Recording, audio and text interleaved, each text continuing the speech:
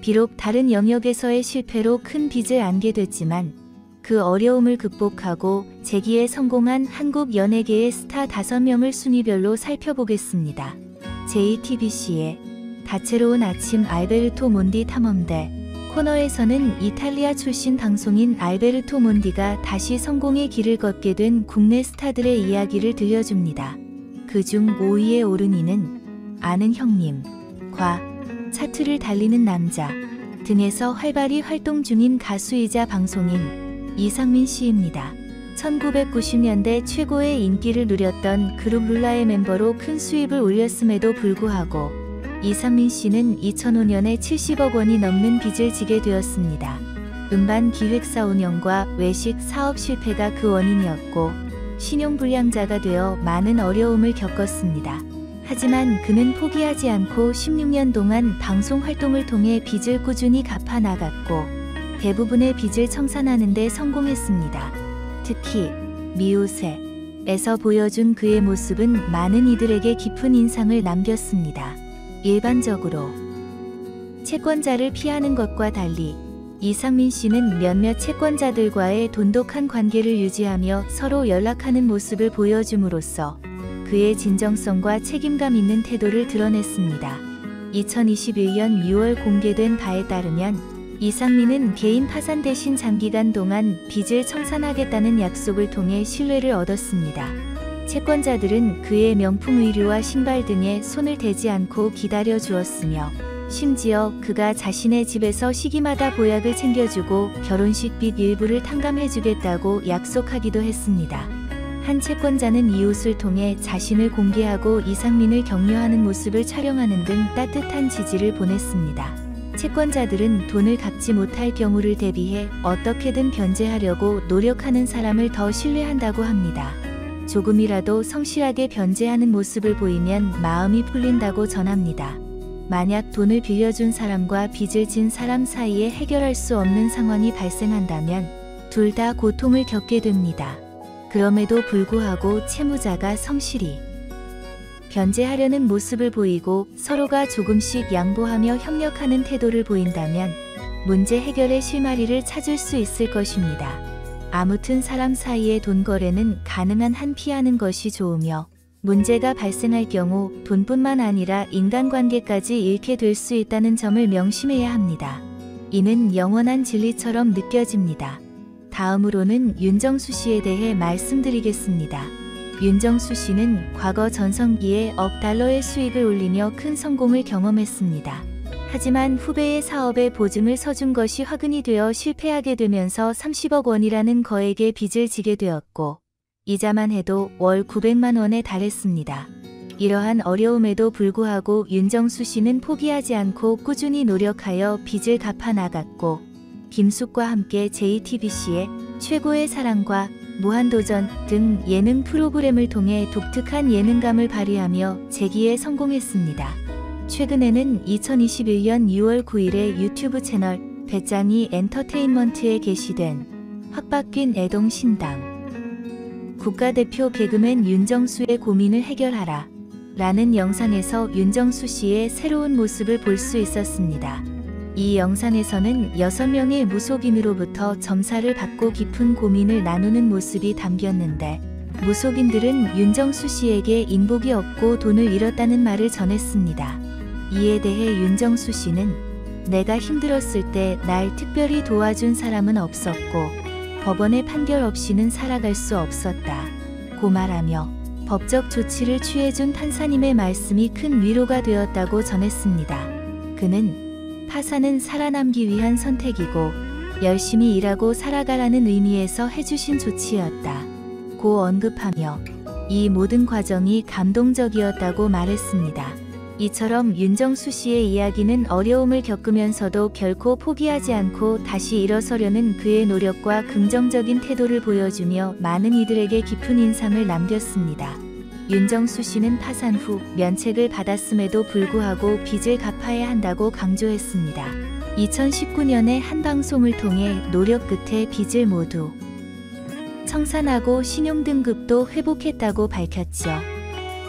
그의 노력을 축하하면서 윤정수 씨를 진심으로 도와준 사람들이 누구인지, 그리고 그런 도움을 기대하는 것이 과연 올바른지에 대한 의문이 제기되었습니다. 과거에 윤정수 씨는 경제적 어려움을 겪었던 박수홍 씨에게 도움을 청했지만, 당시에는 그러한 도움을 받지 못했다고 합니다. 하지만 시간이 지나 돌이켜보니 박수홍 씨의 도움 없이 스스로 일어설 수 있었던 것에 대해 감사의 마음을 갖고 있습니다. 비록 당시에는 큰 도움을 받지 못했지만 방송 활동을 재개할 수 있도록 지지해준 많은 이들 덕분에 다시 설 수 있었다고 윤정수 씨는 말했습니다. 윤정수 씨가 어려운 상황에서도 열심히 살아가려고 애쓰는 모습에 응원과 인정을 보내는 팬들 또한 그를 도운 중요한 힘으로 꼽았습니다.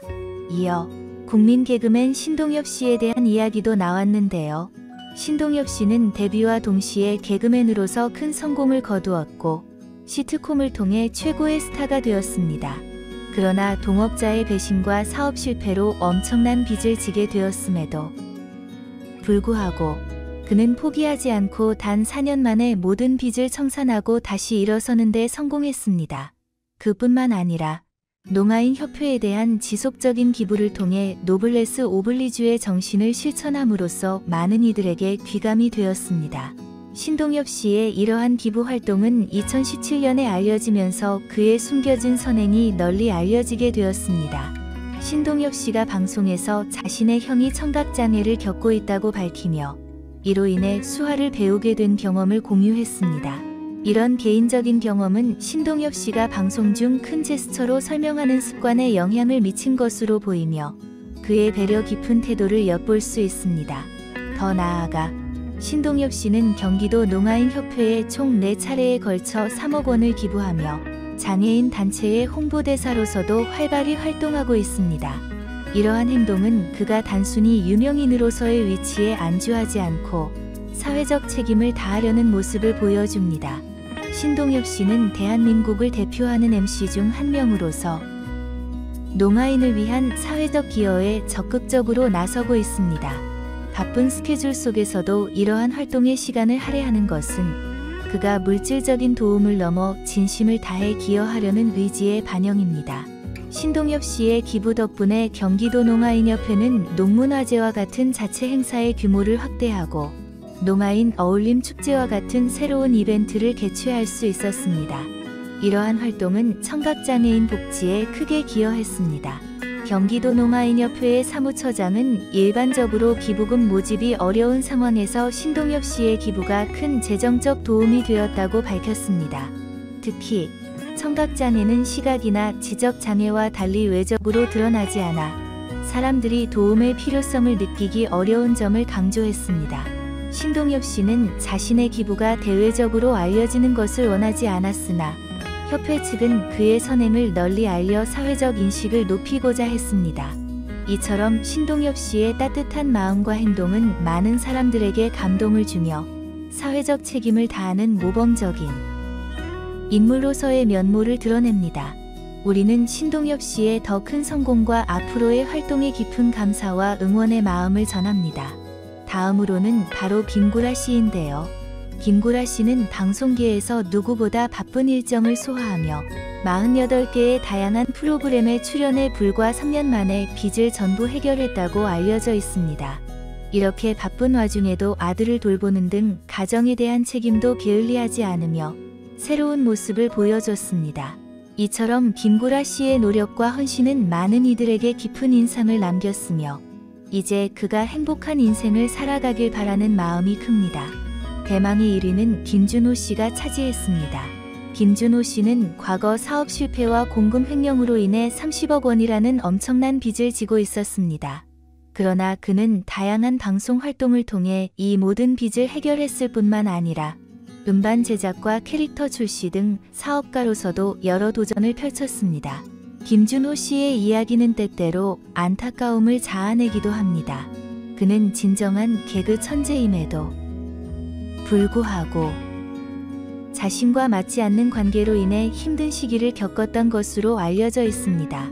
그럼에도 불구하고 이제는 그가 좋은 인연을 만나 행복한 삶을 이어가길 진심으로 응원합니다.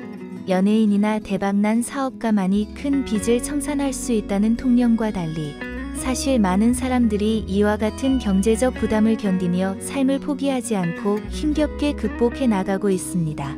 물론 이런 상황 속에서도 무거운 채무로 인해 삶을 포기하는 이들이 있기에 더욱이 빚을 갚아가며 열심히 살아가는 사람들의 노력과 용기에 큰 찬사를 보내고 싶습니다.